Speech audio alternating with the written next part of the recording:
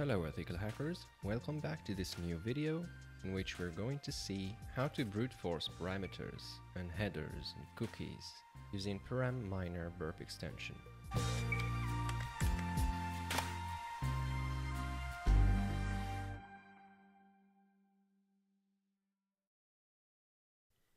This is a free extension which you can download and use on Burp Community Edition as well.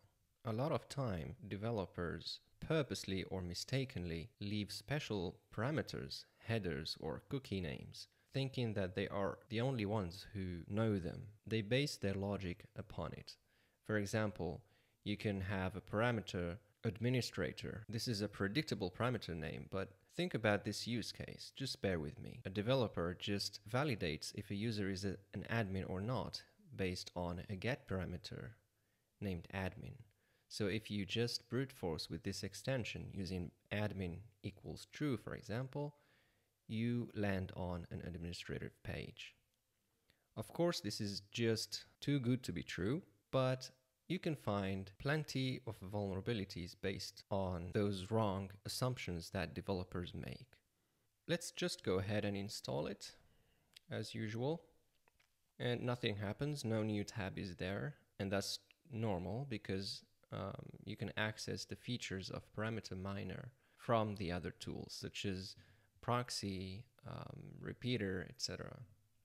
So here, for example, if we are targeting the post API complaints endpoint, we've seen that in previous video when we talked about software vulnerability scanner. So let's say we want to brute force this. Uh, bear in mind that this is the live Heroku app, which is deployed by the maintainer of Juice Shop app. So it's not a good idea to just go ahead and brute force it. But I'm just going to show you how it works and and then we can test it on a live website that we own.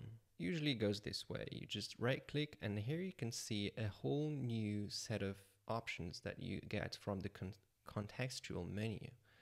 You can guess get parameters, you can guess cookies, headers, JSON parameters, and you have other options here.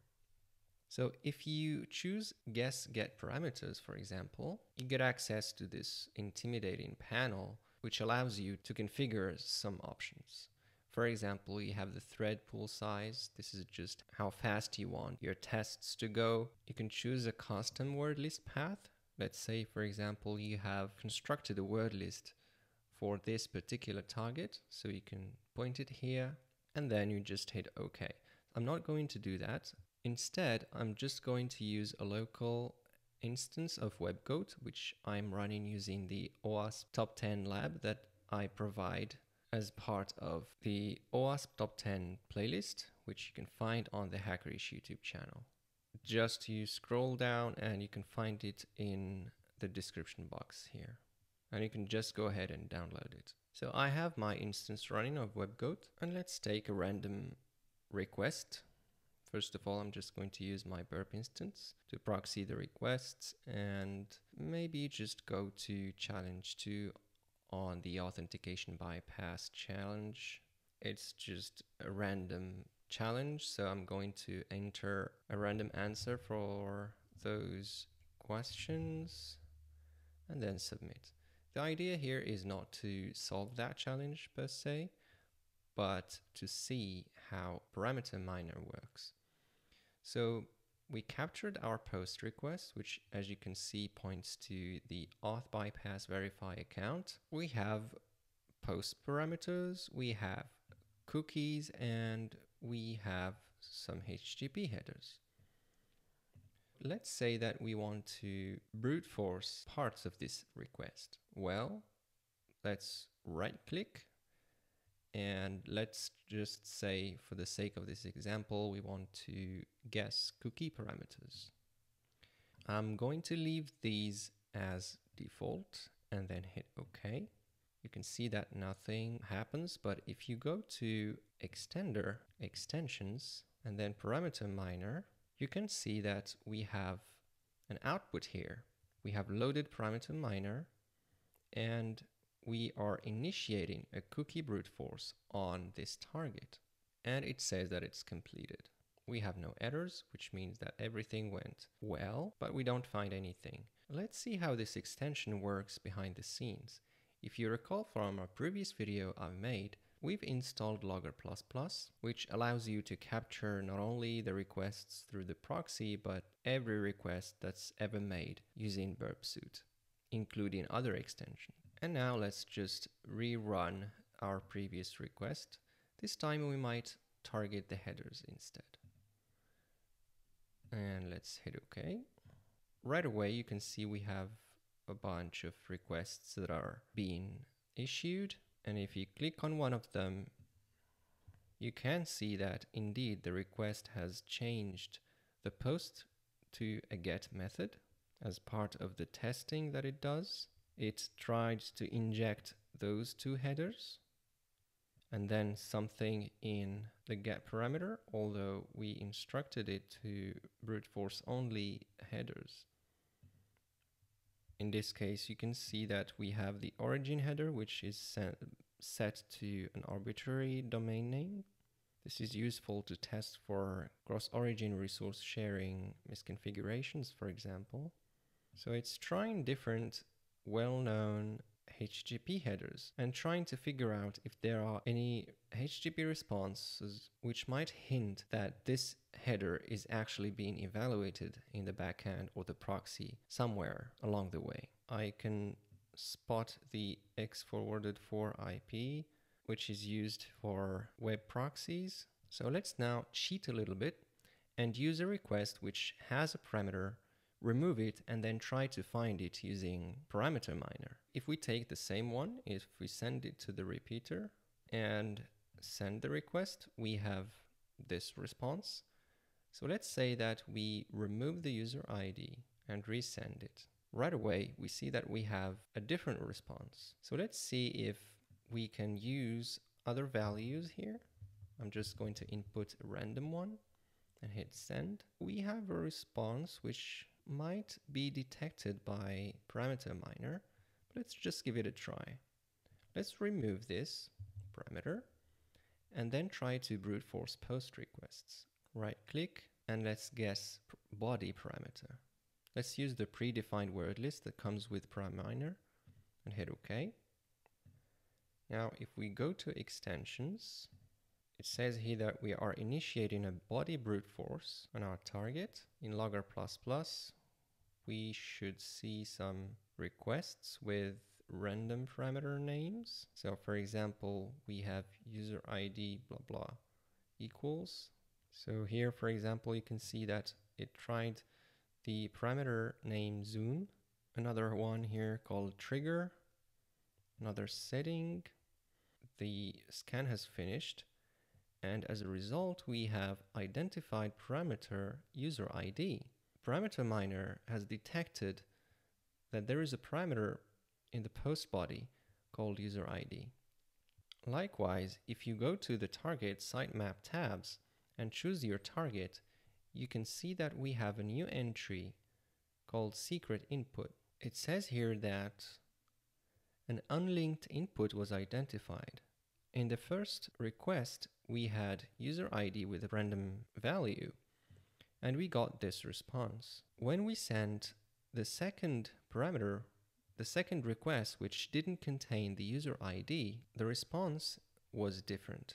So this clearly means for parameter miner that the parameter user ID is somewhat evaluated by the backend. So this is generally how it works, but let's go even deeper. It's always a good idea to read what the extension is offering and also to read about the documentation if there's any. And I want to draw your attention to this phrase here. It's particularly useful for finding web cache poisoning vulnerabilities. So you might be wondering, what is web cache poisoning vulnerabilities? If you remember, we've barely touched upon it when we talked about parameter mining, injecting random parameter names in the URL part? Well, let's give it a try and see if we can learn something new. This is a blog post by James Kettle, a security researcher known for some novel vulnerabilities such as HTTP request smuggling, He also works for the team behind BurpSuite. He's also known for, for web cache poisoning. You can read about it in great detail in the white paper, and you can also watch his awesome talk. So I encourage you to go through this blog post and learn about how caching works. I'm not going to go through all the blog post, but in the basic poisoning section, the author stated that Parameter Miner immediately spotted an unkeyed input. In this case, it was the X forwarded host. It was basically used by the application to generate a URL inside a meta tag. So in the response, you can see that we have the value of the X forwarded host header being injected into the meta tag. So what he did was just inject a cross-site scripting payload and it automatically got injected in the meta tag as well.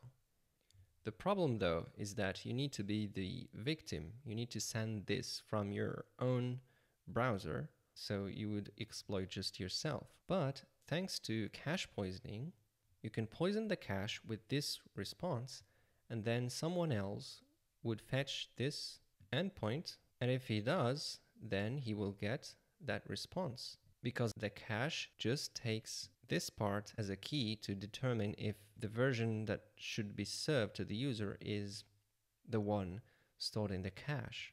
Notice that it's using a somewhat unique or random get parameter, and that's to avoid poisoning other users. So whenever you're trying to poke for cache poisoning vulnerabilities, bear in mind that you should use random parameter names which are not likely to be used by the public so that you avoid exploiting them. And that's why we have these kind of parameters here to make sure that even though we poison the cache, it doesn't affect legitimate users.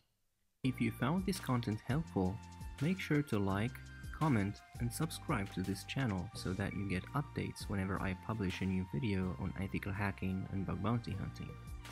If you're new to hacking and want to learn the basics, check out the free OWASP Top 10 theory and hands-on training on thehackerish.com and apply your knowledge on the lab which supports it. If you enjoy learning with videos, I invite you to watch the OWASP Top 10 YouTube playlist.